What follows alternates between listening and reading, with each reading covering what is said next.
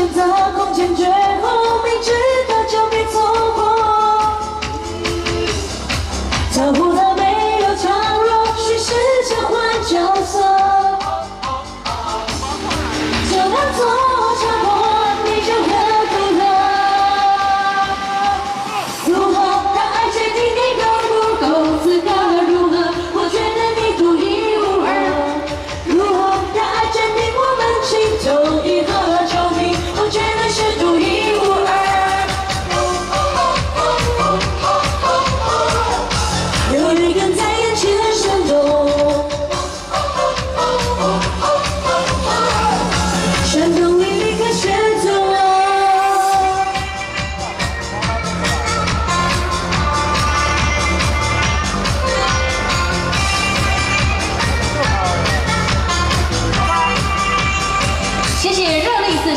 也来自我们的 Patrick Carroll。当然，我们现场呢非常的多，要来恭迎咱的五马，也是咱的金凤龙票班会，来恭迎五马献歌。